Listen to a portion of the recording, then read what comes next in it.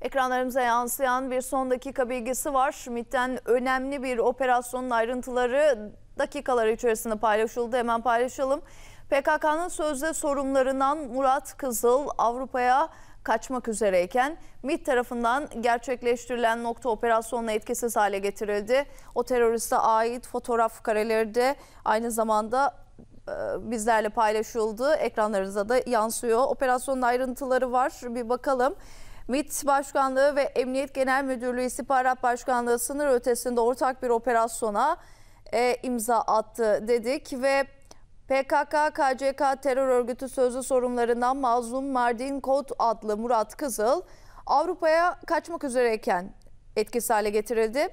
MİT Başkanlığı ve Emniyet Genel Müdürlüğü e, sınır ötesindeki gerçekleştirdiği bu operasyonda MİT'in hassas çalışmaları sonucunda terörist Murat Kızıl'ın saklandığı yer önce tespit edildi. Adım adım izlenen mazlum Mardin Kod adlı terörist Avrupa'ya kaçmaya çalışırken MİT'in ağına takıldı. Yakalanarak Türkiye'ye getirilen Murat Kızıl adalete teslim edildi bilgisi paylaşıldı. E, mazlum Mardin Kod adlı Murat Kızıl 2015'te PKK-KCK'nın kırsal kadrolarına katılan bir isim.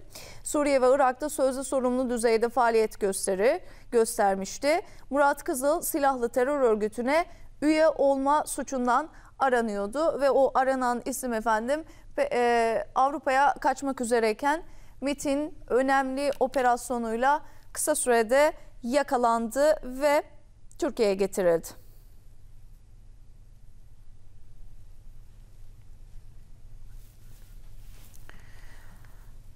Efendim MIT ve Emniyet'in ortak operasyonuydu. Uzun e, süredir MIT'in de Emniyet'in de e, radarında olan bir isimdi. PKK'nın sözlü sorumlusu Murat Kızıl Avrupa'ya kaçmak üzereyken yakalandı ve 2015 yılında PKK KCK'nın kırsal kadrolarında yer alırken Suriye ve Irak'ta sözlü sorumlu düzeyde faaliyet gösteren bir isimdi.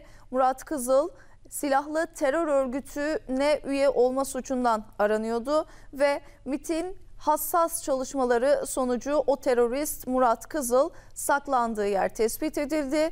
Adım adım izlenen Mazlum Mardin kod adlı bu terörist Avrupa'ya kaçmak üzereyken yakalandı ve yakalanarak Türkiye'ye getirilen Murat Kızıl adalete teslim edildi. MIT ve Emniyetin ortak operasyonu sonucunda yakalanan o teröriste ait de fotoğraf kareleri de ekranlarınızda yansıyor.